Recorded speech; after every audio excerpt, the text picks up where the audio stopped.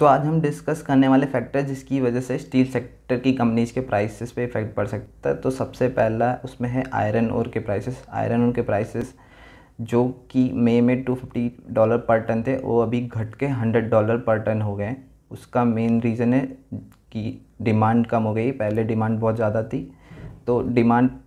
China से थी पहले, क्योंकि चाइना में प्रोडक्शन कम हो रहा था बट अभी वो लोग प्रोडक्शन कर रहे हैं बट उसके बाद भी वहाँ के रेगुलेटरीज़ ने उनको ऑर्डर दिया है कंपनीज़ को कि they should not exceed the production in comparison to the last year तो क्योंकि वहाँ पे जो मिल्स है वो बहुत ज़्यादा पुरानी है तो उनकी वजह से पॉल्यूशन बहुत ज़्यादा है। जो सेकंड रीज़न है वो एवरग्रांडे क्राइसिस है। एवरग्रांडे एक रियल इस्टेट कंपनी है जो चाइना की है and they are not able to meet their liquidity so जो उनका